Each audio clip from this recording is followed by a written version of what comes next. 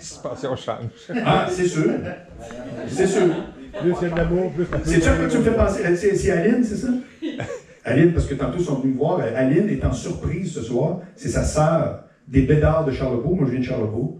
Des bédards à Charlebourg, c'est comme de la mauvaise herbe dans un champ. Là. On se comprend que. C'est pas. Je t'avais préparé, vous savez pas que j'avais.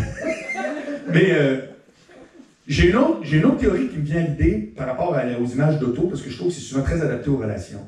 Ça, c'est. Écoute, sérieux, c'est ma préférée. C'est que tu devrais l'aimer. C'est appelle ça la théorie des chars âgés. À l'époque de mes parents, mes parents, mon, père est mort maintenant depuis peut-être 4-5 ans euh, de Alzheimer. Ça fait que je, vous- donne un conseil, si vous apprenez que vous avez Alzheimer, vous n'êtes pas obligé de vous rendre jusqu'au bout parce que moi je l'ai vu puis c'est très ordinaire. Et euh, il serait, le, le 6 août dernier, ça ferait 65 ans que mes parents auraient été mariés. Mes père est mort depuis, je pense, 5 ans. Puis mère toujours vivante en pleine forme, elle reste dans mon calme, dans des résidences, tout ça. Et à l'époque, pour moi, euh, quand les gens se rencontraient, ils se rencontraient, c'était des, des chars neufs. C'est-à-dire qu'ils sortaient directement de l'usine, ils n'étaient pas accidentés. Puis tout ce qu'il y avait à faire, c'est Hey, toi, tu t'en vas-tu à la même place que moi? C'est que moi, mon père, il a rencontré ma mère dans une cabane à sucre.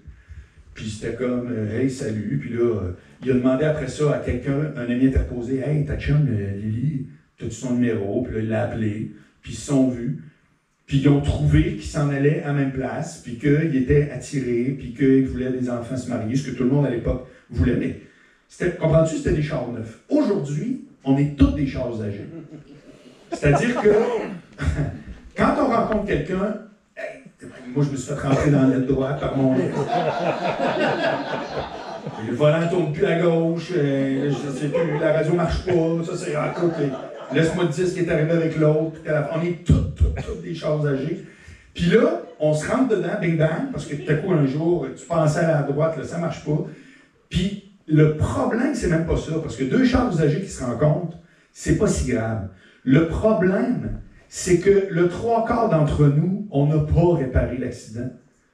On ne sait pas qu'on peut plus tourner à gauche, comprends-tu? C'est comme, il nous arrivait de quoi? On a été blessés. Puis là, c'est terminé, moi je tourne plus à gauche. Puis là, tu rencontres quelqu'un avec qui ça va bien une fois, trois fois, trois mois. Puis il arrive un incident. Puis pour que ça continue, il faudrait que tu tournes à gauche. Mais toi, tu ne tournes pas à gauche. Parce que tu ne tournes plus à gauche, puis tu n'as pas réparé ton volant.